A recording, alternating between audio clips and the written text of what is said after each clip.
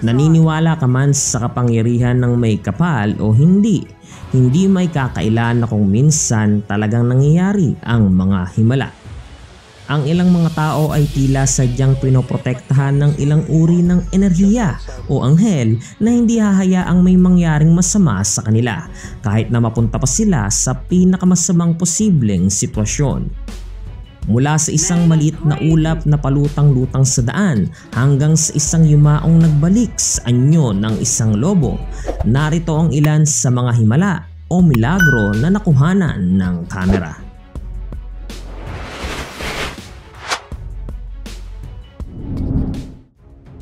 Isang limang taong gulang na batang lalaki at ang kanyang lola ang marahas na nasagasaan ng isang sasakyan. Ang makapigil hiningang footage na ito ay mula sa Brazil kung saan makikita ang maglola na sina Vilma na Cimento at Joao Pedro na milagrong nakaligtas sa isang kakilakilabot na aksidente. Araw-araw sinusundo ni Vilma ang kanyang apo mula sa paaralan at habang naglalakad ang dalawa papauwi isang araw, isang Chevrolet ang tila nawalan ng kontrol at bumangga sa isang nakaparadang puting Volkswagen.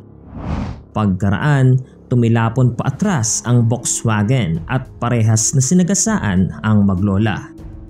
Ngunit sa tulong ng himala, wala kina Vilma at Joao ang malubhang nasugatan. Medyo nakakabahalang panoorin ang footage, subalit kung titingnan mabuti, mapapansing agad na tumayo ang bata upang i-check ang kanyang lola na gumalaw naman makalipas lang ang ilang segundo. Pareho silang isinugod sa ospital para tingnan kung nagtamo sila ng internal bleeding. Pero si Joao ay nakalabas kalaunan noong araw ding yon at nagtamo lamang ng kaunting pasa at gasgas sa katawan. Samantala, ang kanyang lola na si Vilma ay nanatili naman ng magdamag sa ospital para obserbahan. Sinabi ni Joao sa mga reporter na isa itong himala mula sa Diyos. Noong September 2012, si Chelsea Banton, isang 14-year-old na dalagitang may kapansanan ang naging focus ng atensyon sa isang ospital. Ngunit hindi sa mga kadahilanang marahil na naiisip mo. Mula nang siya ay ipanganak, hindi inaasahan ng mga doktor na mabubuhay siya ng matagal para maabutan pa ang kanyang ikalabinlimang kaarawan at noong taong yun, naging mas malala pa ang mga bagay nang magkaroon si Chelsea ng isang napakaseryosong kaso ng pneumonia. Sa paglipas ng mga araw, mas lalo pang lumala ang kondisyon ni Chelsea at walang sino man ang umaasa pa na malalampasan niya ito. Kalaunan, nagpasya ang mga doktor at ang kanyang pamilya na tanggalin na ang kanyang life support kaya nagtipon ang kanyang pamilya upang sabihin ang kanilang huling pamamaalam. Ngunit pagkatapos, isang himala ang nangyari. Humigit kumulang isang oras matapos i-turn off ang kanyang life support, nagsimulang gumaling si Chelsea. Hindi ito maipaliwanag ng mga doktor at hindi pa sila nakakakita ng katulad nito. Kalaunan, nakita ng isang hospital worker ang isang kakaiba at nakapangingilabot na bagay sa security monitor. Hugis tao ito na may pakpak na gawa sa nagniningning na puting liwanag at nang ito ay umalis, mas bumuti pa si Chelsea kaysa dati. Coincidence lang ba o isa talagang anghel ang puting liwanag na yon? Sabi pa ng ilang nurse, may nakita silang kakaiba sa labas ng pinto ng kwarto ni Chelsea, isang bagay na napakaliwanag. Ang kanyang pamilya ay nagdarasal para sa isang himala at iyon mismo ang kanilang nakuha. Ang himalang ito ay hindi kinasasangkutan ng anumang mga near-death experience o ng anumang marahas na aksidente. Ngunit sa halip ay isang harmless, nakakatuwa at medyo kakaibang weather occurrence. Ano kaya ang gagawin mo kung isang araw lumabas ka sa iyong bahay at makita mo ang isang maliit na ulap na lumulutang ilang talampakan lamang mula sa simento? Iyan mismo ang nangyari noong February 4, 2016 nang magising ang isang grupo ng magkakapit-bahay. Nakita nila ang isang maliit at kakatuwang ulap na kaswal na dumaraan sa kanilang lugar.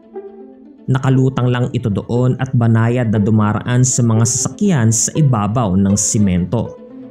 Kung pagmamasdan, mukhang out of place at medyo malungkot ang maliit na ulap na ito. Ang mga residente ay tila labis na natakot dito na hanggang sa huling segundo ng video, walang sino man ang nanghas na lapitan o guluhin ito. Well, hindi naman natin sila masisisi. Ano pa man ito, malinaw na isa itong hindi pangkarniwang senaryo na maaari mong makita sa araw-araw. Isang kakaiba at tila malungkot na ulap na palutang-lutang sa daan. Ano kaya ito? May ilang mga tao ang nagsabi na marahil isa itong lightning cloud habang ang iba naman ay nagsabi na ito ay isang himala mula sa Diyos. Marahil bumagsak na anghel na nag-anyong ulap. May ilan pang ang nagsabi na baka ito ang flying nimbus cloud ni San Goku na gumagala sa planetang Earth. Kung ano man ito, ang cute talaga nito. Subalit medyo nakakatakot din kung iisipin. Katropa, Bago tayo magpatuloy sa number 2 at number 1, kung nagustuhan mo ang topic natin ngayon, huwag kalimutang mag-iwan ng like at comment sa baba ng video na ito. Salamat! Ang pagkawala ng anak ay ang pinakamasakit na karanasang maaring pagdaanan ng isang magulang. Ang sakit at pagdurusa ay walang kapantay kaya naman may ilang mga magulang ang nawawala sa sarili matapos mawalan ng anak. Kaya naman noong pumanaw ang pitong taong gulang na anak na lalaki ni Joy Ganda Vivar Alamares, bumuho ang kanyang mundo. Ngunit ang siya ay nasa libing ng kanyang anak, isang himala ang nangyari. Sa footage, makikita mo si Joy na umiiyak habang nakatingin sa maliit na puting kabaong na nababalot ng mga puting lobo. Ngunit pagkaraan ng ilang sandali, tila isang magic ang nangyari nang humiwalay sa kabaong ang isa sa mga lobo at dumiretso patungo kay Joy nang walang humahawak rito. Hinaplos ng lobo ang kanyang buhok at mga kamay at pagkaraan ay niyakap niya ang lobo habang patuloy na umiiyak ng malakas. Ang lobo ay umikot sa paligid ni Joy na parang kaluluwa ng kanyang anak na sinusubukang aliwin ang kanyang nagdadalamhating ina.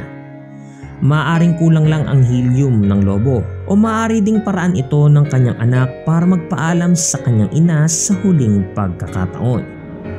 Ikaw katropa, sa tingin mo?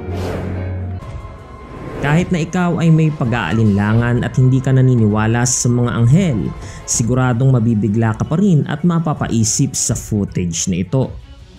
Ang kamanghamanghang footage na ito ay nakuhanan sa New Delhi, India ng isang security camera na nakaturo sa isang intersection sa oras ng gabi. Kitang kita sa footage ang isang mabilis na truck na pumapasok sa field of vision ng camera na nagmamadali sa malungkot na kalsada. Ngunit mayroon ding isang cart puller na matiwasay na tumatakbo mula sa kalsada sa kaliwang bahagi. Masyadong mabilis ang takbo ng truck para makapreno sa oras at napakadilim din sa labas kaya hindi nakita ng driver ng truck ang cart puller. Ang lalaking pumipidal sa kariton ay malapit ng masugatan ng gusto kung hindi man ay mas malala. Sasalpukin na sana ng truck ang walang kalaban-laban na cart nang biglang sumulpot ang isang tao na may kumikinang na mga kamay mula sa kung saan at tila inalis ang cart mula sa kapamakan. Ngunit hindi lang yon. Pagkaraan ng ilang millisecond, isang napakatingkad na liwanag ang lumitaw sa kanang bahagi ng video at nang ito ay mawala, nandoon na ang cart at ang misteryosong tagapagligtas. Sinigurado ng misteryosong tagapagligtas na ayos lang ang lalaki at mabilis na umalis sa eksena habang ang hamak na cart puller ay umupo sa gilid ng kalsada at sinusubukang intindihin ang nangyari sa kanya. Make sure na panoorin din ang iba pang mga video na kabilang sa playlist na iyong nakikita sa screen. Pindutin lang ang card na makikita sa itaas. Narito ang sample preview, panoorin. Ang alamat ni King Arthur ay nauna pa kay Galgano. Subalit ang pagdaragdag ng Sword in the Stone sa kwento ni King Arthur ay naganap ilang sandali makalipas ang panahon ni Saint Galgano. Dahil dito, nabuo ang teorya na ang espada ni Saint Galgano ang naging inspirasyon ng Excalibur ni King Arthur. Gayunpaman, sa paglipas ng panahon, patuloy pa rin kinukwestiyon ang legitimacy ng espada kung ito ba ay talagang pagmamayari ni Saint Galgano. So that's it. Maraming salamat sa panonood and see you next time.